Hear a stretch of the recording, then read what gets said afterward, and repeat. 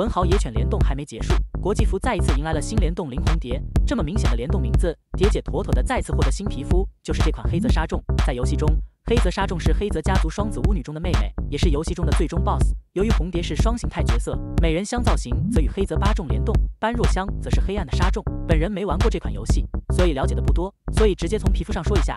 美人香就是一个普通的人类女子造型，身穿白色和服，褐色的短发，给人一种很清晰单纯的感觉，但表情中却透露了一种自信。般若香就不一样了，显然就是 BOSS 的最终形态，拿下了以后佩戴的面具以真面目示人，并且眼睛上还有一对特效互动翅膀，要是加上挽留特效，估计就绝配了。衣服依旧是美人像的和服，布衣的是变得破旧不堪，显然这个状态是在战斗中突变的，给人一种更加狂暴的感觉。以上就是本次海报透露的一点信息，既然是游戏，那肯定有主角，红蝶显然是。其中一个人选，至于主角会给谁，由于没有玩过这款游戏，就不做过多的猜测。玩过游戏的同学们可以猜一下。